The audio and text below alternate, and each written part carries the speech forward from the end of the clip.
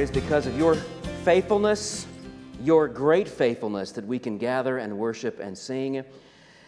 Lord, because you have saved us, you have forgiven our sins because of what Christ accomplished on the cross, because of what he accomplished in his life and providing righteousness for us and his resurrection and providing eternal life for us, Lord, that we can come and sing and celebrate our union with you. Lord, we pray for those who are not unified to Christ, that they would understand the gospel, they would believe it, and build their lives on it thus be saved today. Lord, give them the faith and repentance they need to follow after Christ and become a genuine believer. We ask this in the name of Jesus. Amen. You may be seated.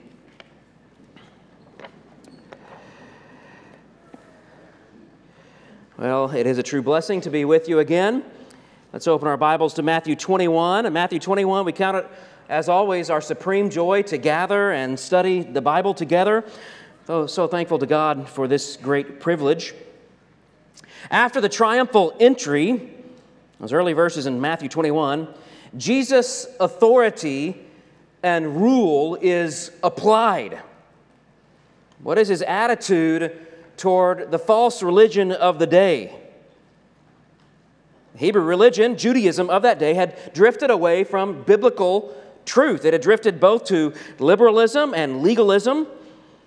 Worse than either, though, it had altogether abandoned the hope of the true biblical Messiah and replaced the idea of the biblical Messiah with their own ideas of what they wanted in a Messiah.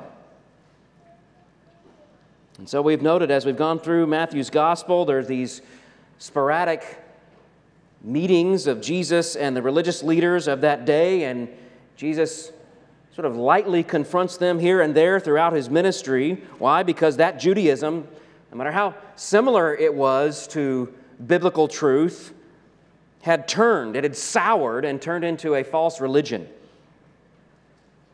This, of course, is in violation of God's moral will, but it was all part of God's sovereign will. It was all part of His plan to put Jesus on the cross by Passover. So Jesus had set his face like flint toward Jerusalem. He had set his face like flint toward the cross. He had come into Jerusalem the week of Passover, first to pronounce, pronounce judgment upon the false religion, and then to die, to be executed by those people promulgating that false religion. All a part of the beautiful plan of God. So Jesus is setting this all up. He's planning, in essence, he's planning his own execution by coming in, announcing the folly of this false religion. And today he points to the, this folly of false religion by a miraculous demonstration. By the way, this is his only miracle of destruction. All the miracles we see of Jesus are that of creation, that of, of rejuvenation, revival, you could say. This is his only miracle of destruction. Here, this is demonstrated in his power to judge, his power to curse, his power to bring death as the ultimate judge assigned by God. For believers, we're going to discover today that the truth of Jesus is judge. It should inspire us to hope. It should encourage us that one day everything will be made right, everything will be brought to justice. Ultimately, this should lead us to greater faith in Him. That's what we heard from 1 Thessalonians 5 a moment, a moment ago. Jesus, for us, is not coming to us as a thief in the night. When Jesus returns, it'll be a great joy for us. It's something we're anticipating. It's something we're look forward, looking forward to. It's something that we are, are preparing ourselves for. It's not some sort of surprise, deadly attack as it is for the lost. He comes as a fulfillment of all, all of our desires. So we ought to encourage one another, as it says, to hope in Christ for that day, to grow in our faith in Christ, finding all our desires fulfilled in Him. For unbelievers, for hypocrites, the truth of Jesus as judge should spark in your heart a trembling, a terrifying reality. And He'll come not to relieve you, not as your hope, but as a horrible, shocking surprise, a shocking, sudden judgment that will leave you eternally apart from God. Well, you'll hear this theme in our text today. So let's read together. Follow along as I read aloud. I'm reading in Matthew 21. It's the story of the cursing of the fig tree, beginning of verse 18 I'll go down to verse 22. Follow along as I read aloud. In the morning, As he was returning to the city, he became hungry. And seeing a fig tree by the wayside, he went to it and found nothing on it but only leaves. And he said to it, May no fruit ever come from you again. And the fig tree withered at once. When the disciples saw it, they marveled, saying, How did the fig tree wither at once? Jesus answered them, Truly, I say to you, if you have faith and do not doubt, you will not only do what has been done to the fig tree, but even if you say to this mountain, Be taken up and thrown to the sea, into the sea, it will happen. Whatever you ask in prayer, you will receive if you have faith. This is the Word of God.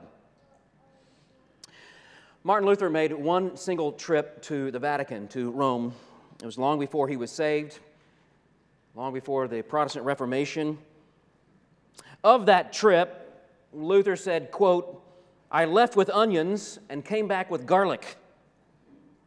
Now, why would he say that, and what in the world does it mean? Well, he was a young priest, and at that point, he had begun uh, to grow a little bit disenchanted with the Catholic Church, not in a theological way. In fact, it would be some years before he began to really dig and, and look at the, the doctrine and, and theology of the Catholic Church and compare it to Scripture. But, but he was beginning to grow disenchanted with what was happening, especially sort of in a, in, a, in a, local priest sense and sort of a parochial sense, as he looked around at the priests and what was happening in the churches around him.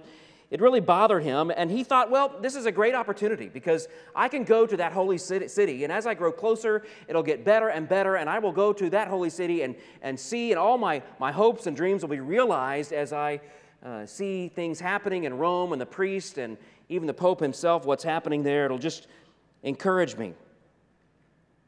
Again, he was discouraged in that day. He was looking around and saw all these different priests. He saw them engaging in what's called simony. Simony is the purchasing of office. He saw these basically these leaders, men who were not qualified as priests, were not trained as priests, but because being a priest, there was some kind of power, political power even, he, he saw people purchasing the position as priests. Can you imagine if that were happening even today, if political leaders were buying pulpits and becoming preachers, not based on their qualifications, but just to gain power and authority over people. He saw this happening. He saw people, like he would later on, he would see Johann Tetzel selling all these indulgences. This, this man was little more than a really bad used car salesman, pawning off these things to people, had all kinds of wickedness about him. In fact, it was said of Johann Tetzel that he would sometimes bring his illegitimate children with him. He had a number of mistresses with whom he had had children, and they would come around with him and, and travel with him as he sold these indulgences. So again, Luther was becoming disenchanted with what was happening on that sort of local level and thought, you know, this may solve my problem. If I go to Rome and I see the glories of the holy city and get around, at least around where the Pope is, maybe, maybe this will encourage in me a, a, a heart of, of genuine revival. Maybe I'll be revived in my love for the Catholic Church. Well, not only did that not turn out like that, what he discovered is that the closer he got to Rome, the more corrupt he saw in the priesthood. As he closed in on Rome, they got worse. By and large, the priests were more corrupt, more filthy mouthed. They were scoundrels. They celebrated drunkenness. They celebrated debauchery. They even mocked, at one point, he, he heard them mocking the practice of, of Eucharist. So, by saying, I left with onions and came back with garlic, Luther was saying in his trip, nothing changed. I thought I was going to be encouraged. I thought I would come back with something beautiful, something encouraging, but nothing changed. It was corrupt, as corrupt as he saw in Wittenberg, if not worse. And the most troubling part about it for him was the hypocrisy. The priests were to be the most sincere, the most devout, those with the greatest level of love and integrity and virtue, the greatest ethics. Yet they were the worst. And they used their position in that religion to levy heavy burdens upon the people, to take their money, to line their own pockets, to live lives of utter selfishness. Now, the Bible is not silent about this brand of hypocrisy among spiritual leaders. That's why it says in James 3, verse 1 Not many of you should become teachers, my brothers, for, uh, for you that those who teach will be judged with greater strictness. That, that theme basically tells us there is indeed a literal hotter place in hell for people who are hypocrites of that sort, who are teaching and yet live these secret lives of debauchery. Jesus quoted from Isaiah in talking about the religious leaders. We saw this back in Matthew 15. The people honor me with their lips, but their heart is far from me. In vain do they worship me, teaching as doctrines the commandments of men. what we have here in the middle of Matthew 21 is a living parable, Jesus' attitude toward the false religion of Israel in that day. Jesus' cursing of the fig tree is a picture of his authority to judge that false religion and judge the hypocritical religious leaders of that day. And by extension, everybody who was involved in that whole corrupt system. He had come to serve, he had come to save, he had come to offer his life as a ransom for many. And the very people who should have welcomed him and worshiped him the most were the ones who sought his death. Now, because of that hypocrisy, they were destined for greater judgment from Jesus. And that's what we see in the cursing of the fig tree. The first, tree, first lesson that we learn then is number one, you write this down hypocrites be warned. Hypocrites be warned. Now, there's a couple of details here I need to explain because inquisitive minds will ask. The first has to do with the chronology of Matthew's account of the cursing of the fig tree. There's only one other place that this story is recorded. It's in the book of Mark. And if you read Matthew uh, account, Matthew's account of the cursing of the fig tree and Mark's account of the fig tree, it sounds a little bit different. And the main difference may be in the chronology of that parallel story. I won't read it for you, it's quite a bit longer, but basically, the way Mark presents the story is that on the morning that Jesus went in and cleansed the temple, which we studied last time, they're headed to the Temple Mount, and Jesus cursed the fig tree there before he went up and cleansed the temple. Goes to the temple, does his thing, heals the people, teaches, goes back that night, spends the night in Bethany, and it's the next morning, according to Mark, that they came by and saw that the fig tree had withered. And there's some discussion there about what this means. Here in Matthew, you'll notice, we just read it, there's no hint of happening it it happening in two different days. Rather, Matthew simply tells us that Jesus, after the day he went up and cleansed the temple, they get up the next morning, they come back, and he cursed the fig tree, and at once they saw the effects and had a discussion.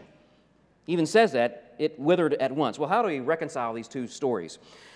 Well, for one thing, linguistically, there is room in Matthew's account for it, it to have occurred exactly the way that Mark said in a little more detailed way. In other words, there's enough flexibility in the language, in the Greek language that we read in both the accounts, uh, to say something like Jesus cursed, cursed the fig tree and they saw it immediately begin to wither.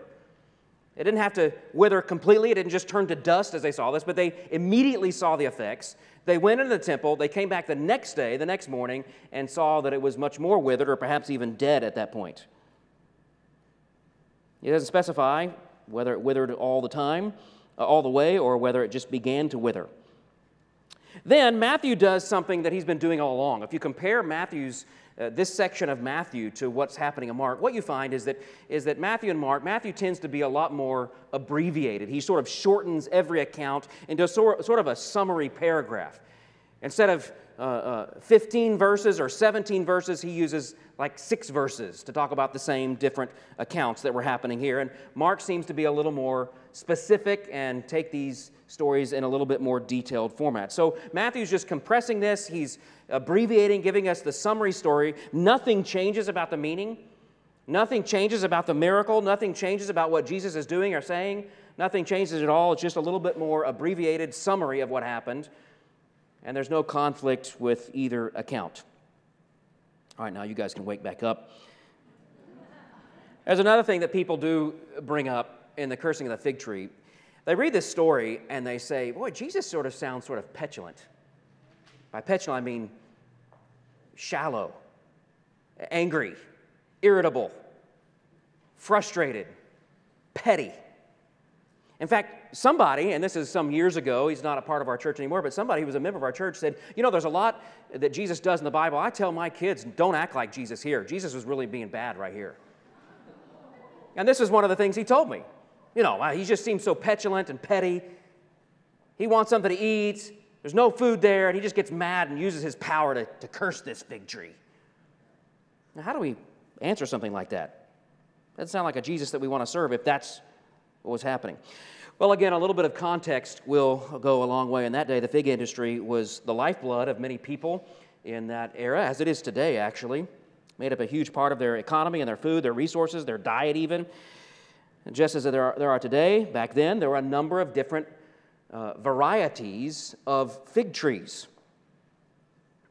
The one that was farmed, the one that would be sort of producing figs on a regular basis, on a predictable way, this is the one that they would have used in in farming and agricultural and, and agriculture, and it would be something that would produce fruit every fall, like all the other plants. There were other fig trees, more or less the wild fig trees, that you really didn't know. They were unpredictable, and they would produce it at different times during the year, and they wouldn't know exactly when to expect it. But the way they would know a fig tree, a particularly wild fig tree, they would know that it was producing fruit is that it would have leaves on it.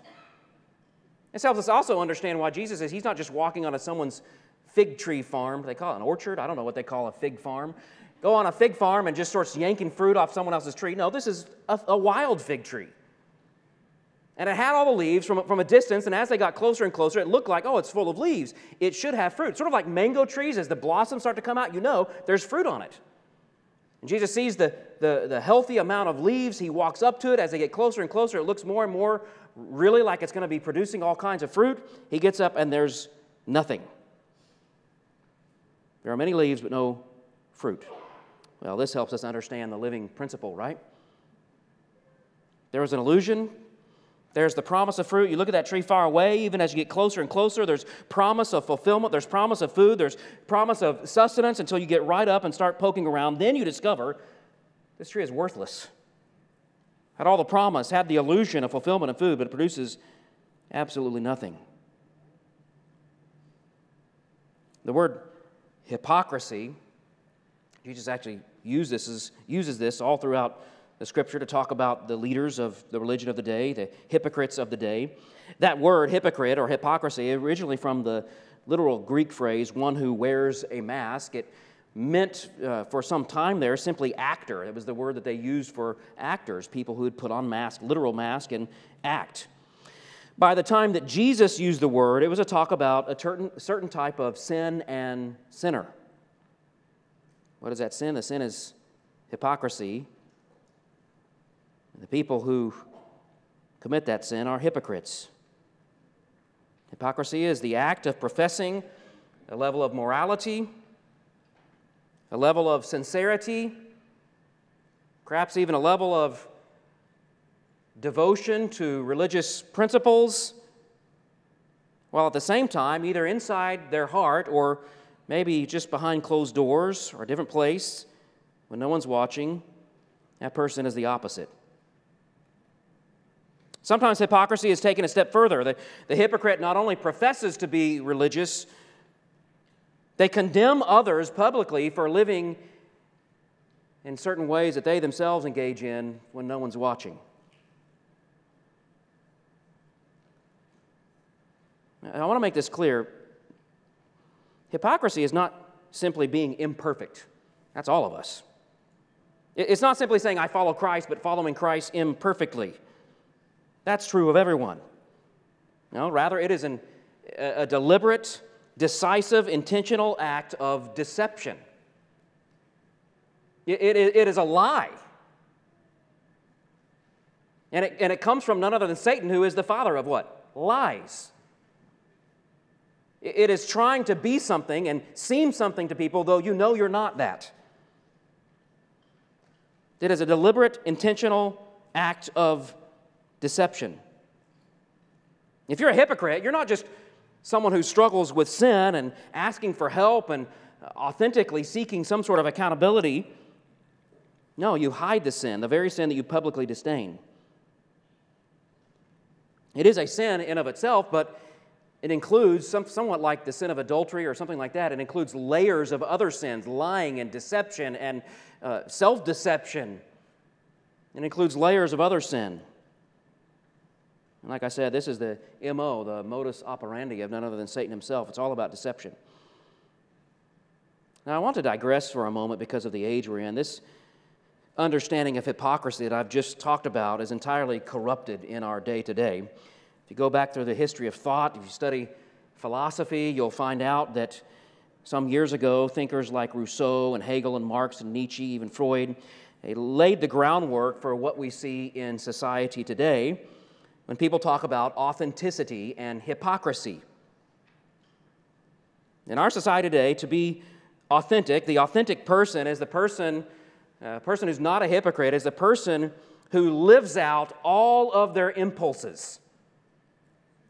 Whatever sinful carnal desire, you are encouraged to be authentic, not a hypocrite. It's to live out those sinful and carnal desires. Authenticity, they say, is espousing and executing any desire, any impulse that you may have in your wicked heart. The authentic person, they tell us, is the person who embraces all your impulses as your identity. And to deny yourself the expression of your impulses is to be in, inauthentic and to be a hypocrite. And so they fight. They fight in the public arena, they fight in government. They say all people should be allowed and free to express, express whatever impulse, no matter how deviant or sinful. Self expression, this is the highest, highest ethic, the pinnacle of morality. All other things are below that. This is why, for instance, abortion is so widely accepted. Tearing a, a prenatal baby limb from limb from somebody's womb may not be a good thing, but for them, because self expression is the most important ethic, you have to live up. You have to be true to yourself. You're not a parent. Get rid of that baby. that's what you want. You want the desire of free sex, a, a life without children, then that's what you have to live up to, even if it means the death of a child. If that's what you want, if that's your impulse, then to be authentic, you have to carry this out. Society tells us. What's the phrase we hear all the time? I mentioned it. Be true to yourself. More colloquially, something that's come around lately is you be you, right? This is the highest and most important morality in our society today. Well, one, one way to see the utter stupidity of that kind of mentality, of that philosophy, is just to say that phrase, you be you, and just put someone's, some horrible person's name on the end that. You be you, Jeffrey Dahmer. Hey, man, you want to eat people? You be you. You be you, Hitler. Makes no sense. There has to be an outside, objective standard of truth to which we live up to. But they look at Christians and they see us trying to crucify the flesh they see us trying to flee our immorality, trying to, to kill those wicked impulses, and they say, Oh, you're all hypocrites. And we say, No, we're just trying to live up to what Christ calls us. Again, people look at Christians who make it a habit to crucify the old man, to war against the sinful impulses of our flesh. They look at us, and from a demented, corrupted perspective, they say we're all hypocrites, we're all inauthentic. Well, I've digressed a little bit. I'm reading a book right now, so you get a little piece of it. My point is to narrow down what Jesus means when he's giving this illustration of the fig tree. These are real hypocrites. These are people who are intentionally deceitful. They're not just people who are trying to live righteous, these are people who are intentionally deceitful. They teach one thing and they deny it with their lives. And Jesus, every time he comes in contact, or almost every time he comes in contact, he's not doesn't hesitate to use that word, hypocrites. You hypocrites. It's not some ridiculous notion of self-expression being muted. It's these people were proclaiming to obey God and to live under God's rule, and yet they denied God with their lives. They professed knowledge of the Bible, which Jesus showed over and over. Have you not read? Have you not read? They have no real knowledge of the Bible. They professed a thoroughgoing morality and ethics, and yet we see them demonstrate time and time again they have hatred, spite, callousness. They professed they were awaiting the Messiah, and yet when the Messiah actually came, they killed him. They are the poster children for the sin of hypocrisy.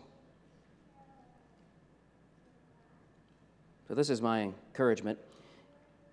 If you're just struggling with sin and you're open about it, trying to live up to the standard that God has, Yes, you must be aware of the lurking sin of hypocrisy. That sin will be a temptation for all of us. But this warning is not mostly for you, this warning is for the real hypocrites. I have no doubt. Some of you are in this very room. Will proclaim your righteousness. You pretend and you put on a really good show, but down lurking deep inside, you're a hypocrite. You know it. And this is a great warning for you. At any moment, Jesus could curse you and you die.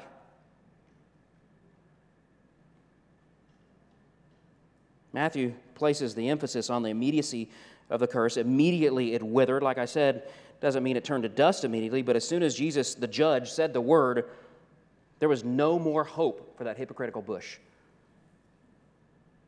Just like the leaders he was confronting, he pronounced the curse and it was over. No more hope.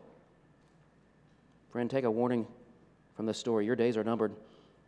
The only way free from that damning sin of hypocrisy is to have faith in Christ, to open up, to confess your sin. The Bible says in Proverbs 28 13 that the person who hides his sin will not prosper, that the person who confesses his sin will obtain mercy. In other words, if you cover your sin in the judgment, you will be uncovered. But if you uncover your sin and confess it before God, in the judgment, you'll be covered. That's the point. Hypocrites be warned. This is the point. This illustration that Jesus was giving is that the hypocrisy of that false religion would be exposed and judged. It was under a curse. And Jesus had the power and the right to judge hypocrites, and he did. Number two, believers be encouraged. Believers be encouraged. Just as hypocrites ought to fear Jesus the judge, we believers are encouraged by the fact that Jesus has that power and authority. When the disciples saw this, this is verse 20. When the disciples saw it, they marveled, saying, How did the fig tree wither at once? And Jesus answered them, Truly I say to you, if you have faith and do not doubt, you will not only do what has been done to this fig tree, but even if you say to this mountain, Be taken up and thrown to the sea, it will happen. Whatever you ask in prayer, you will receive if you have faith. Now, it's pretty easy to see here that Jesus is encouraging them. He's not damning them, he's not cursing them, he's encouraging them. So, in the face of this curse against the hypocrisy of the false religion, he's encouraging the believers. He's, this is his response to that curse. He's encouraging the believers. So, it's easy to see that this is an encouragement. But what is this encouragement? And what, what is he saying exactly? Is he saying, you know, if you want a Mercedes, just ask for it, I'll give it to you? You want a better job? Just ask for it. You want a better spouse? Just say the word. I'll give it to you. Is that what he's saying? He talks about, way to go. Somebody's listening. it's not what he's saying at all. Way to go. You know, we just, I just want to say this. We decided uh, as we came out of the COVID stuff we couldn't get enough volunteers to just full, fully do our children's church, and I think it goes to, I don't know, age five or four or something like that. It goes to that. And we actually have grown to like it. I know sometimes there's noise and stuff. We kind of grow to, we've grown to like this. We like having all the kids here. So uh, thank you, young man, for that. Way to go. His grandpa is a preacher, so he knows what to say. No, this does not mean we can ask for whatever we want of God. It doesn't mean we can just take our, again, our sinful impulses and bring them to God and say, hey, I want this, I want that, fulfill my greedy desires. What does it mean here? Well, we've got to look at the context here. Let's remember that Jesus had said something just like this earlier to the disciples. Keep your finger there in 21 and flip back to Matthew 17. The idea of faith moving mountains. And Jesus had mentioned this to his disciples already, and Whatever he says here, it's in context, right? It, it gives him context to what happens. What's that saying? A text without context is pretext. Boy, don't prosperities use, prosperity preachers use this as pretext, right? Matthew 17, verse 18, Jesus rebuked the demon. Uh, just to give you a little context here, Jesus had been up on the Mount of Transfiguration Peter, James, John were up there with him. He came down the mountain, this glorious moment, right? They come down, and it's almost like they go down into the depths of hell because they come down, and the other disciples, the other nine disciples, are down there trying to cast a demon out, and they can't. And so there's this crazy boy, he's foaming at the mouth and falling around. And they're trying to cast a demon out, they can't. Jesus comes down from the mountain he rebukes the demon, it came out of him, and the boy was healed instantly. The disciples came to Jesus privately and said, Why could we not cast, out, cast it out? He said to them, Because of your little faith. For truly I say to you, if you have faith like a grain of mustard seed, you will say to this mountain, Move from here to there, and it will move. Stop right there. That phrase, little faith, it says, because of your little faith. That phrase, little faith, in the original, it's one word. It can indeed mean small or diminutive in amount, but that would mean, if it meant that in this passage, it would mean that Jesus contradicts himself because he says, if you have little faith, you can move mountains, but because of your little faith, you couldn't do this. So Jesus is not contradicting himself, and Matthew's not so stupid that he missed that Jesus contradicted himself. No, they must have understood it as something different. So that phrase, little faith, that's one word in the original, can also mean short falling or insufficient faith. Or you could even say hypocritical faith. And I think that's what that's why Jesus puts this in our passage today and reminds them of what he said. This is talking about a hypocritical faith. It's the kind of false faith like the false teachers had. It was uninformed, it refused to take truth and knowledge. It was broad, it was not self denying, sacrificial truth. It did not take into account the truth of Scripture, the identity of Jesus. Rather, it was just sort of generic spirituality for the sake of spirituality. It was almost like those, those nine disciples who were left down there and said to themselves, Hey, you know, Jesus did a trick like this one time. He can get those demons to come right out. I, I think we can do the same trick, right? That's the kind of faith Jesus means by little faith. In fact, some translations actually don't translate it as little faith, they translate it as what? Unbelief. That gives a little more light on what this means. Unbelief posing hypocritically as though they believed in Jesus, as they were doing the work of God. And yet, this faith, faith was shortcoming, it was false, it was hypocritical. Of course, this contrasts genuine faith. A faith that's informed, that is rightly aimed at Jesus, it's not aimed at personal gain. It's not faith in man, it's not faith in history, it's not faith in miracles. It is a rightly aimed faith. Genuine faith has a calm assurance of His power, God's power over all, no matter what the outcome may be. It is surrendering under the sovereign will of God. It is saying, Not my will, but your will be done. It's saying, I believe, help me in my unbelief. Grant me more faith.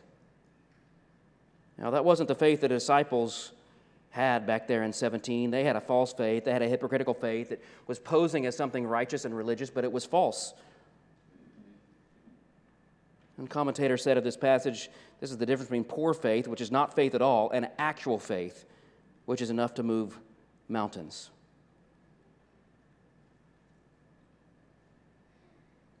Those nine disciples had that poor, hypocritical faith, which is not faith at all, not genuine. It was unbelief, it was faithlessness. It was hoping in a trick, not hoping in Christ. Genuine, genuine faith is aimed at Christ, not circumstances. It's trusting God's sovereign plan, not in, not in your desired outcome. It's faith in God's goodness. It's not trying to get what you want out of God. That's genuine faith. And that's what the disciples lacked that day back in 17. So if you have faulty faith, what Jesus called little faith, hypocritical faith, you get nothing.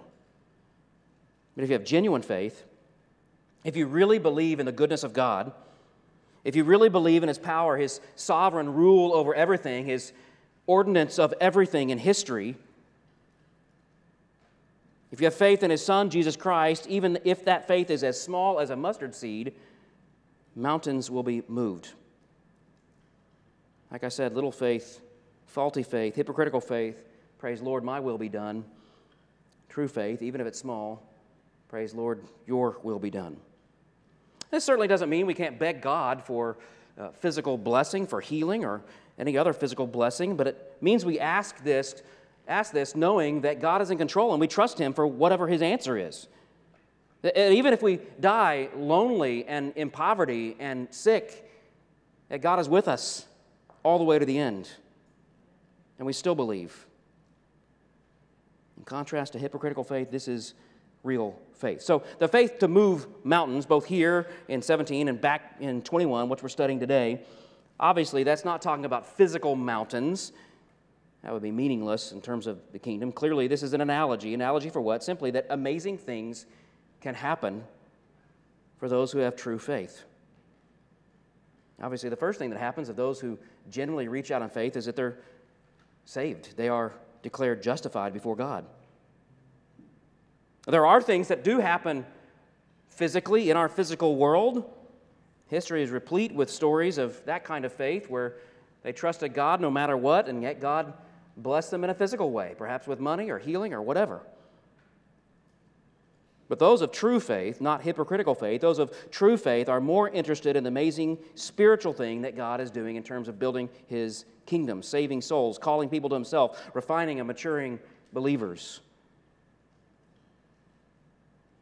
Those things are far more amazing to someone who has faith than personal prosperity. Those are the mountains that God is constantly moving as a part of his plan to build his kingdom. So that's encouraging for those of us who are true believers. Jesus is saying if you flee that hypocritical faith and you embrace genuine faith, which is true faith, it's not unbelief, posing as belief, if you do that, if you run to Christ, your, your whole world changes. You start to see all these mountains, all these things that God is doing in terms of changing hearts and building His kingdom and doing what. One of the reasons I'm so excited about this missions conference is we get to hear how God's kingdom is growing and growing in spite of all the ridiculousness that's happening right now across the world. God's kingdom continues to grow, God, God's kingdom continues to expand. And those who are faithful, no matter what their personal circumstances are, they rejoice in the mountains that are constantly being moved for the sake of the kingdom. He is saying, You put yourself in that flow and you begin to see what I'm doing. You begin to pray for the things that I will, and you see these mountains move. So, in contrast to hypocrites, believers, we are to be encouraged. Jesus is giving his men encouragement encouraging them to, uh, toward genuine faith, away from that hypocr- hypocrisy that we saw him curse there in the first part. Ultimately, the reason we have faith is because of the person of Jesus Christ, and that's true for hypocrites. It applies to hypocrites and it applies to believers. The reason we should, hypocrites, the reason you should tremble is because of who Christ is. Believers, the reason you're encouraged is because of who Christ is. Well, who is Jesus? Well, point three Jesus is judge. All three of my points can actually be read as one sentence Hypocrites, be warned, semicolon. Believers, be encouraged, semicolon, because Jesus is judge. In this passage, Jesus positions himself not just as the immediate preacher, truth teller, prophet,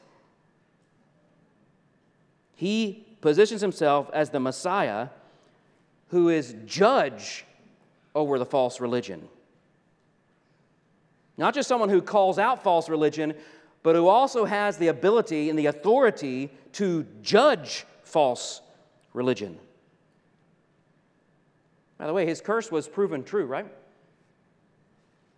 How long did Judaism with the temple last? Not very long, maybe 40 more years.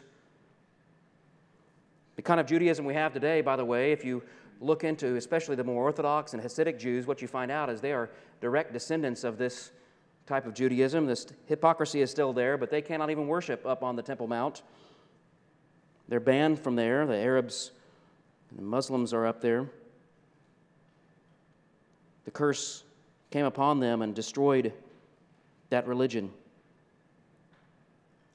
Judaism wavered throughout the Old Testament. You've read the Old Testament, right? And throughout the Old Testament, it wavers, goes sort of in between something a little more faithful and a little less faithful, goes back and forth and back and forth and back and forth throughout the Old Testament. But once Jesus was on the scene and they rejected him and he cursed them, Judaism has never returned. Yes, there are Jews who have been saved, of course, Messianic Jews. But Judaism as a whole is under a curse. Paul used the analogy of branches on a tree. He said they're broken off because of their unbelief, Romans 11 20. Of course, most of us believe that God will do a work in the Jews' hearts toward the end, bring many back, regraft them back into the tree. But the idea of Jesus as judge, if you're a hypocrite, should cause you great fear. He can say the word, He has the power and authority to judge you eternally. If He were to withhold His mercy from you this very moment, you would stop breathing. Every breath is a kindness of God. You would fall dead without His mercy. In His kindness, He continues to give you mercy. The question is whether or not you're going to see that kindness that should lead you to repentance. If it doesn't, He'll do the same to you that He did to that tree and to the Jewish leaders and religion of that day. For believers, the idea of Jesus as judge warms the hackles of our heart because we look at this horrible world, we look at the philosophies, we look at the mentalities and the chaos and the sin and this fallen, broken world. We see it in our own society continue to, to slide into irreparable sin and doom. We look around, we cry out for justice, for truth, for righteousness, but we do this with a twinkle in our eye because we know that one day Jesus will set all things right. He will come with myriads of angels and saints, and he will bring all to justice. Let me admit something. Sometimes I get a little depressed about our society, our country. I believe our country was a fantastic experiment, a fantastic start, even marking those great awakenings that happened early in our country's history. Sure, there was plenty of sin, there were plenty of dark moments, and the way we treated people and did things, I'm sure there's plenty of sin involved, but as a concept, this you know, tripartite division of checks and balances of legislative and judicial and executive branches, and it really has created the most powerful country the earth has ever seen. Now, as we, as a country, flounder and flail around and continue to see the rejection of truth and moral standards, I do confess I get a little depressed. But that sadness in my heart doesn't last long because my hope is not in a republic or an electoral vote or some sort of act or judge or pres- president or some congressional bill. My hope is in Jesus Christ, who will come, come one day and he will reign as the absolute monarch and set everything right. So for us, we see Jesus as judge and we're encouraged. We get a little glimmer of the justice and the righteousness that He will one day bring. Let's pray. Father, we thank you so much for the wonderful story of the cursing of the fig tree, and it does encourage those of us who are believers trying not to be hypocritical about our faith, trying to abandon that, abandon that kind of hypocrisy, trying to be genuine and have genuine faith and aim our faith at Christ alone. Lord, we thank you for that desire that you've placed in our hearts to do just that. And Lord, I pray for those who are here or maybe watching or listening who are true hypocrites. Open their eyes to their own hypocrisy. They go around proclaiming their faith and their belief and their righteousness, and yet they don't even trust in Jesus. So I pray, Lord, that you would break their hearts, open up their minds and hearts to what Christ has accomplished in his life and death and resurrection Grant them the faith to believe in Him and to repent of their sin and turn to Him. We all would ask for your strength in this, Lord. We ask for it in the name of Jesus. Amen. All right, stand with me for a benediction.